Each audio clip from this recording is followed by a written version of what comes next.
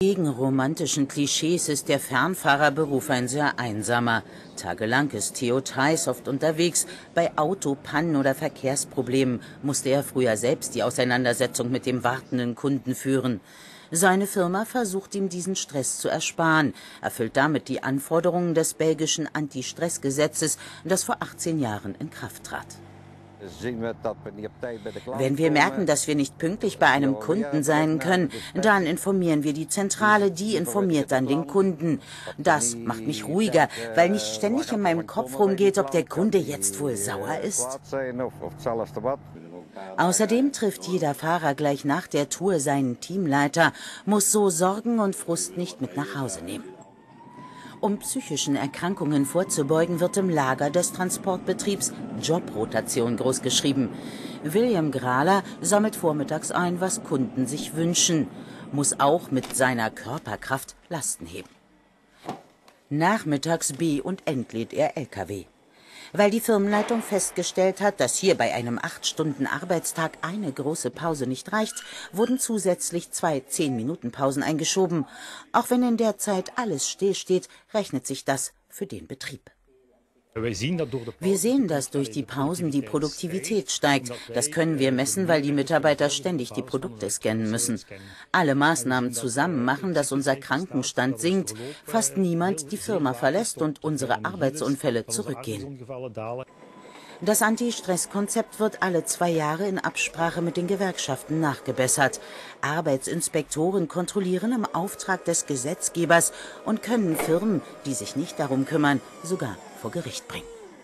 Millionen Deutsche kloppen jeden Monat Überstunden. Ja, meistens kriegen sie dafür mehr Geld oder Freizeitausgleich. Andere dagegen, die arbeiten länger und kriegen gar nichts. Ja, wie geht denn Ihr Arbeitgeber mit den Überstunden um? Das haben wir in Saarbrücken gefragt. Also ich darf sie abfeiern. Mein Chef guckt eigentlich, dass wir fast gar keine Überstunden machen. Das ist eigentlich ganz gut. Wenn mal viel zu tun ist und jemand krank ist, dann machen wir schon Überstunden, aber sonst guckt er schon, dass es sich in Grenzen hält. Ja, ich bin Bäcker vom Beruf und so mit 50, 40 Stunden Woche oder sonst irgendwas kann man bei uns mal im Betrieb, also überhaupt in dem Handwerk, ab und zu mal abschwingen. Meistens sechs Tage Woche, acht, acht, acht Stunden und dann jetzt je nachdem wetterbedingt, das sind dann die Stunden so zwischen 47 bis 50 Stunden die Woche. Es ist eigentlich schon eine gewisse Selbstverständlichkeit. Also das, das heißt, der Arbeitgeber äh, baut schon auf die Überstunden, weil um die Produktion aufrechtzuerhalten. Ich bin Beamter, ich kriege keine Überstunden ausgezahlt. Die feiere ich ab. Zur gegebenen Zeit, wenn äh, keine Krankmeldung bzw. wenn es äh, die Urlaubszeit vorbei ist. Ich bin im öffentlichen Dienst äh, tätig. Bei uns ist eigentlich sehr gut geregelt davon ab. Aber ja, ich bin, ich bin der Meinung, es könnte schon äh, höher honoriert werden. Es ist ja doch eine Menge Freizeit, die verloren geht. Und man hat ja nicht mehr so viel. Sarah hat den Lehrerberuf vorläufig an den Nagel gehängt. Statt zur Kreide greift die 30-Jährige heute lieber zum Maßband. Sie macht in Würzburg eine Ausbildung zur Schneiderin. Nach sieben Jahren Studium und einem halben Jahr im Referendariat hat sie sich von ihrem Job getrennt. Also ich habe mich absolut überfordert gefühlt. Ich soll den Schülern was beibringen, weiß aber selber eigentlich noch gar nicht, was von mir erwartet wird. Und man hat keinen Feierabend. Und ein Beruf ohne Feierabend mit noch Schlafdefizit, das macht einen irgendwann einfach fertig. Also mich zumindest. Ich konnte damit nicht umgehen. Auch Christine, ihre Kollegin, hat dem Lehrerdasein den Rücken gekehrt. 17 Wochenstunden als Referendarin, sieben Klassen betreuen. Der Traumberuf, den sie seit ihrer Kindheit hatte, zerplatzt. Man steht sehr unter Druck. Man muss sich ja nicht nur vor den Schülern jeden Tag beweisen, sondern auch vor seinen Seminarlehrern und vor den Direktoren. Das ist eine nervliche Belastung, die für manche schwierig ist. Nach zwei Jahren im Berufsleben hat sie aufgegeben. Mit ihrer Vorstellung vom Traumberuf hatte die Realität wenig zu tun. Von rund 41.000 Lehramtsstudierenden in Bayern geht am Ende nur etwa ein Viertel ins Referendariat. Zu dem größeren Part gehört auch Julia. Sie hat die praktische Ausbildung gar nicht erst angetreten. Die Bürokratie wird immer höher, immer größere Klassen. Der Druck ist einfach enorm hoch von den Eltern auf die Lehrer. Für Bildung wird nicht so viel Geld ausgegeben, wie ausgegeben werden müsste.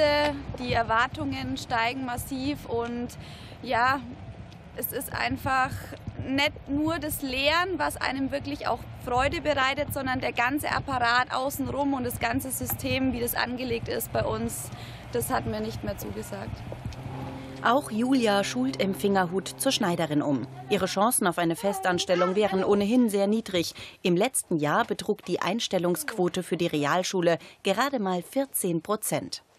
Eigentlich alle Fächerverbindungen wie Deutsch, Englisch, Erdkunde, Geschichte, die haben unter 1,0, brauchen sie sich eigentlich gar nicht bewerben. Also schlechte Aussichten. In den kommenden Jahren wird die Kluft zwischen Absolventen und freien Stellen noch viel größer. Auszusteigen ist manchmal nicht die schlechteste Wahl. Die Mädels jedenfalls haben ihre Hausaufgaben gemacht. Ich bin froh, dass ich den Absprung vorher geschafft habe und dass ich in so einen tollen Betrieb gekommen bin.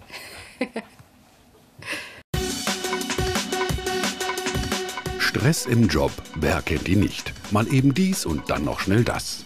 Wird der Stress am Arbeitsplatz zur Dauerbelastung, droht im schlimmsten Fall ein Burnout mit verheerenden Folgen. Burnout ist äh, so definiert, dass es immer an einen Arbeitsprozess auch gekoppelt ist. Also es betrifft Menschen, die in Arbeit sind und in Arbeitsprozessen sind, kann aber auch zum Beispiel Mütter oder Hausfrauen treffen, die eben einen Arbeitsprozess zu Hause haben. Typische Frühsymptome sind äh, Konzentrationsstörungen, innere Unruhe, leichte Schlafstörungen. Die Symptomatik geht dann häufig über in äh, Syndrome, die vergleichbar einer Depression sind, also mit schwerer Niedergeschlagenheit, Antriebsdefiziten, auch Lebensüberdrussgedanken.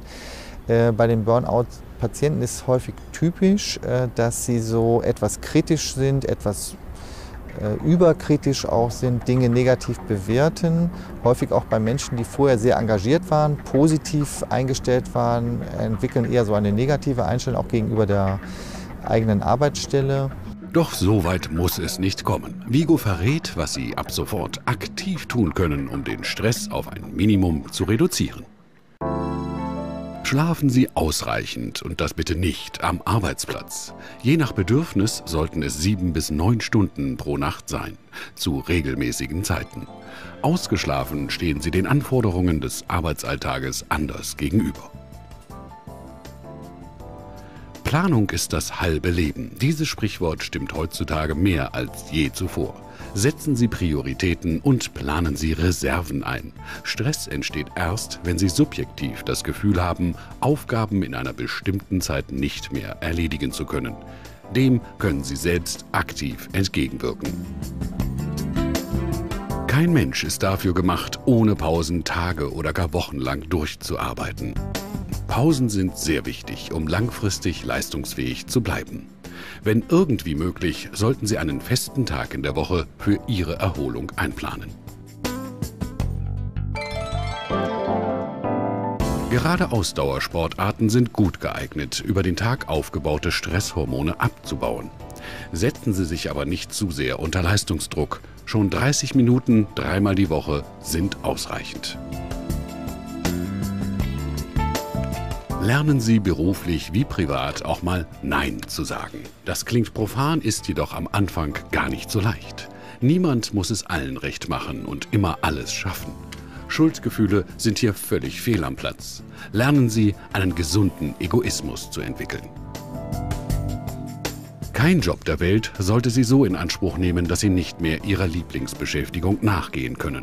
Egal was es ist, solange es Ihnen gut tut, sollten Sie regelmäßig Ihrem Hobby nachgehen. Ein glücklicher Mensch lässt sich nicht so schnell stressen. Akzeptieren Sie, dass kleine Fehler oder Unzulänglichkeiten mit zum Leben gehören. Ein übertriebener Perfektionismus stresst Sie unnötig. Entspannung können Sie lernen. Am besten geeignet sind die progressive Muskelentspannung nach Jakobson, autogenes Training, Yoga oder Tai Chi. Entspannungstechniken dienen dazu, über ein neues Körpergefühl den Weg zu mehr Ausgeglichenheit zu finden.